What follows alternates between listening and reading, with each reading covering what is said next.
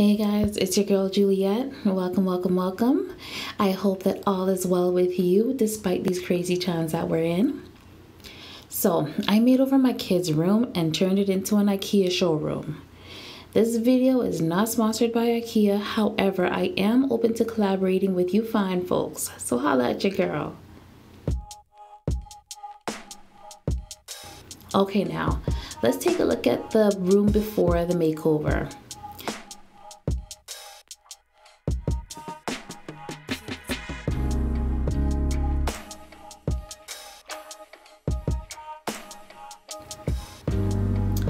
This room is so depressing and lends nothing to encouraging creativity or productivity.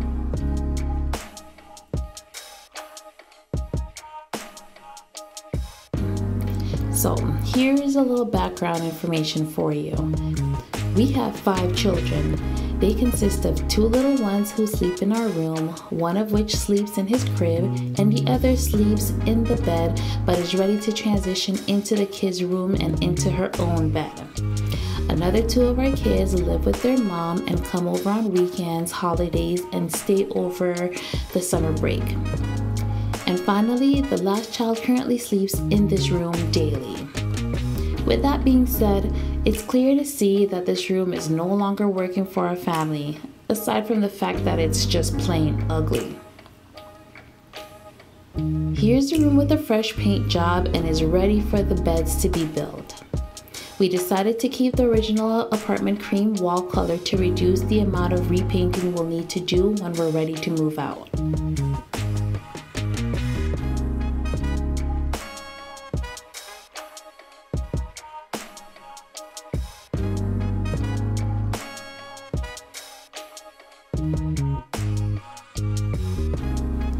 Once the beds were built, we had to play around with their placement a bit to find the floor plan that made the most sense and would allow for easy movement around all the furniture once everything was in place. Honestly, just getting the room to this point was a breath of fresh air. I wish we could have done this a lot sooner. However, we're here now and I'm loving it already.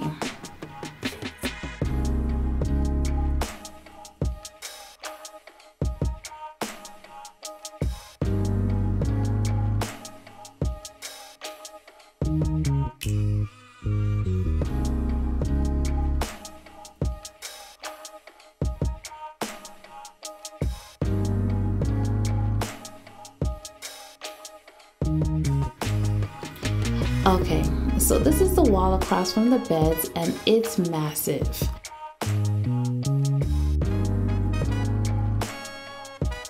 I was thinking that it needed a little something, so I painted these stripes and made it an accent wall.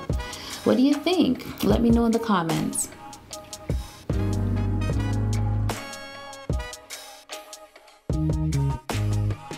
From this point on, you get to see how I furnished and decorated the room. Stick around to see the progression and the final look of this makeover. If you enjoy my video, be sure to give me a thumbs up and if you're interested in plants and interior design, be sure to subscribe to my channel.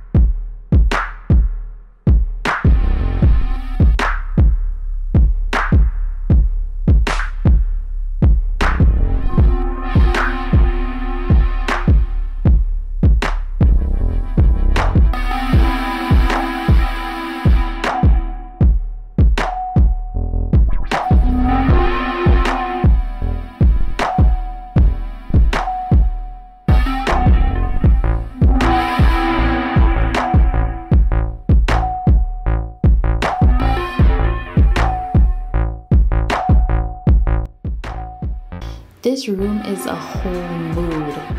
I love the way it turned out and so do the kids. Let me know what you think of it and don't forget to give me a thumbs up if you enjoyed the video. Make sure you subscribe to my channel for more videos like this and be sure to turn on your notification so that you don't miss any of my videos. Alright guys, stay safe and catch y'all on the next video.